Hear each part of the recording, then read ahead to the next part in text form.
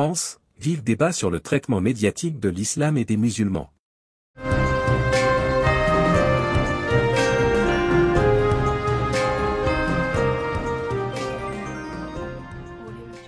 Une nouvelle controverse enflamme la discussion en France concernant la position de l'islam et des musulmans dans le pays.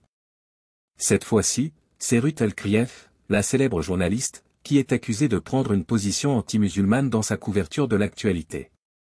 Les critiques les plus virulentes viennent de Jean-Luc Mélenchon, leader de la France insoumise, LFI, qui qualifie ouvertement El-Krief de fanatique anti-musulmane. Ce tweet a rapidement atteint des records de vues sur la plateforme X, déclenchant ainsi une vive polémique en France. L'émission sur LCI où le député LFI Manuel Bompard a confronté Ruth Elkrief à propos des accusations récurrentes contre les musulmans de France a été le déclencheur initial. Bompard déplore qu'une partie de la classe politique désigne le musulman comme responsable de tous les problèmes. Le tweet de Jean-Luc Mélenchon sur la plateforme X a suscité une réaction massive en France, avec 6 millions de vues en moins de 24 heures. Il accuse Ruth Elkrief de manipuler l'information et la qualifie de fanatique, réduisant toute la vie politique à son mépris des musulmans. Le groupe TF1, propriétaire de LCI, a soutenu Ruth Elkrief en dénonçant des invectives odieuses et insinuations déplacées.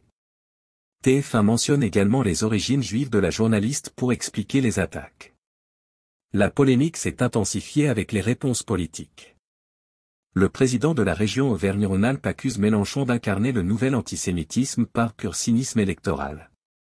Le porte-parole du gouvernement, Olivier Véran, qualifie les propos de Mélenchon d'injures extrêmement graves. Le ministre de l'Intérieur, Gérald Darmanin, a annoncé la mise sous protection policière de Rutel Krief, dénonçant l'irresponsabilité de Mélenchon qui aurait mis une cible dans le dos de la journaliste, rappelant les menaces antérieures.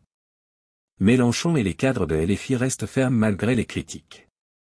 La députée Mathilde Panot partage une vidéo d'un débat avec Ruth Elkrief, soulignant que les accusations d'islamophobie ne sont pas infondées.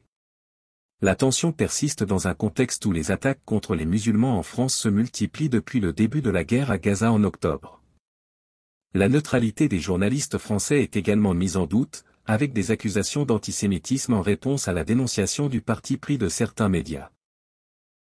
Abonnez-vous à notre chaîne. Cliquez sur la cloche pour rester au courant de l'actualité algérienne.